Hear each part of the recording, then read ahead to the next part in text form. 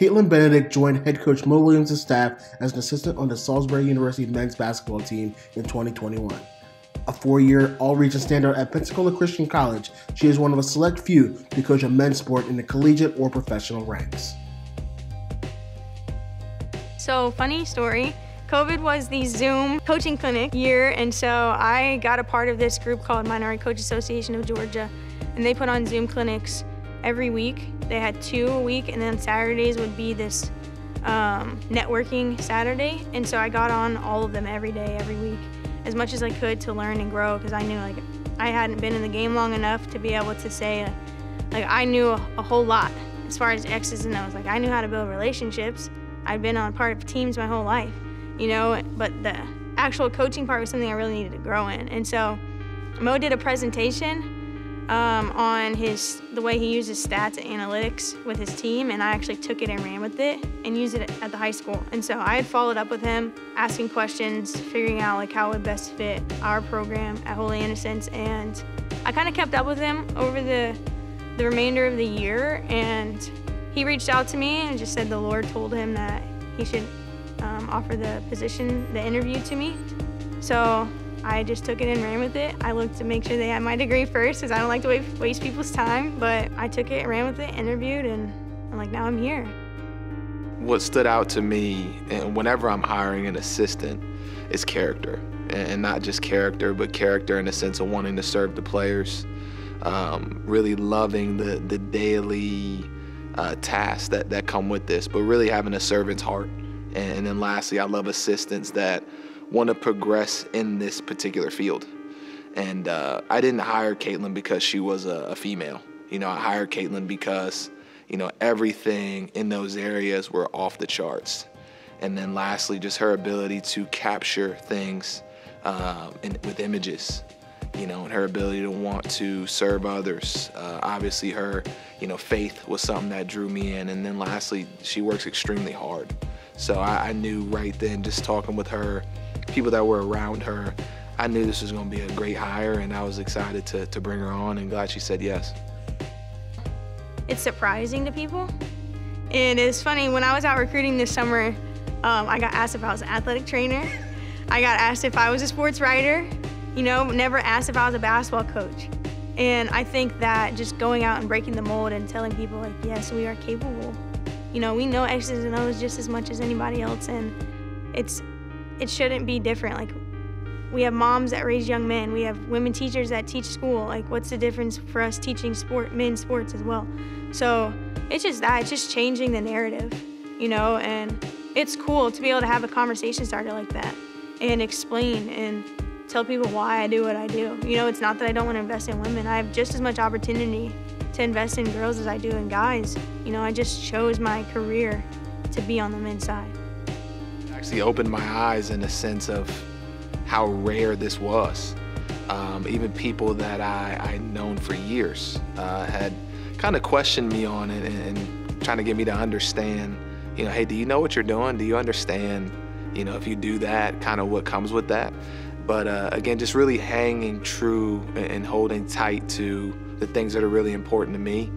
And, um, you know, I think the most important part for me when making that hire is the players and spending a lot of time with them, asking them what, what is their experience with this? What do you think about this? What's your feel on this? And the common denominator was, Coach, we, we want somebody that cares about us and is highly knowledgeable about the game. So, uh, again, she just really fit. And, and, their opinions meant more to me than, than anybody else's. It was a learning curve just getting to know the guys and getting to know how they, how they learn, how they like to play, you know, and how to put them in the best situations. It's, and some of them were camp, so I got to meet them earlier than others, and some of them I just had to have phone conversations with. Some of them I didn't really get to know until I came here and the semester started. But I think the relationship piece and being open to asking them questions, like Mo challenges me all the time, like ask them what it's like to be coached by you. You know, and so I continuously get that feedback and it helps me to learn them. Going back to just the players, you know, how they felt, I, I thought really a really cool comment that they made is just the opportunity of a difference of perspective that having a female coach brings was something that really um, you know, made me look at this and say, hey, this makes sense for our group and probably makes sense as far as worldwide when looking into hiring. The women's game is very cerebral. I learn a lot from watching the women's game. It really teaches me the X's and O's.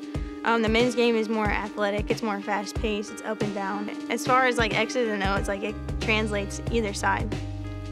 I just think the friendliness of the school, like everybody's willing to help, and that's the main thing with Mo. Is like he's always willing to help and push me outside my comfort zone and put me in places where I can grow. Like a couple things I've learned from him while I've been here is, is like truth over harmony.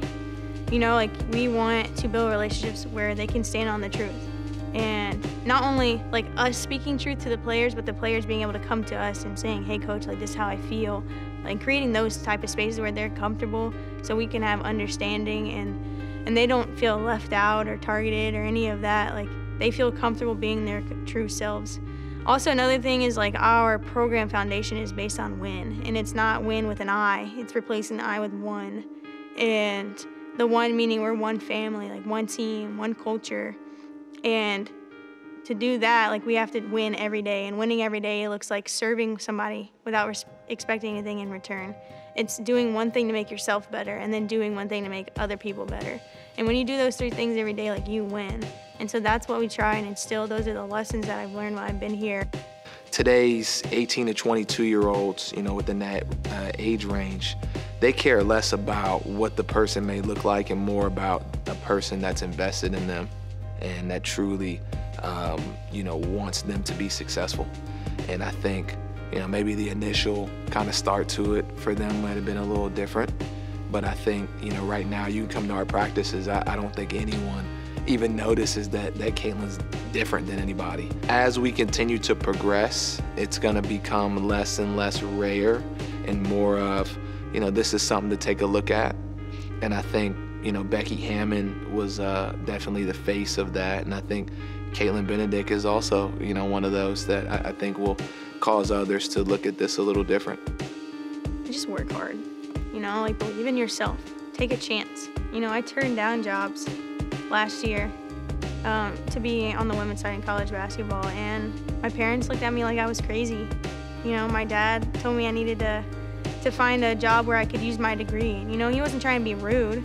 You know, he's just a very practical person. I knew that taking the chance, I would set myself up for something that I really wanted to do, and it, it paid off. You know, and I was just faithful and diligent in the small time. You know, now I've been blessed to be here and doing the same thing. You know, and so my advice really is just like continue to grow, learn as much as you can.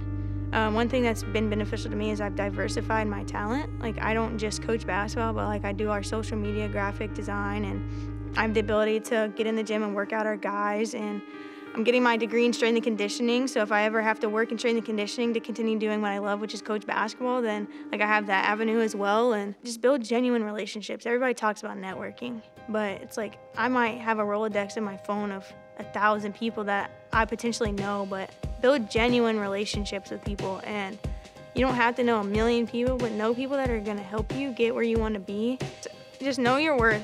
You know, don't ever discount your value. Know know what you can bring to the table, and then just grow and learn and develop every day. Like try and just gain that wisdom from the people around you. It's all all it is is hard work.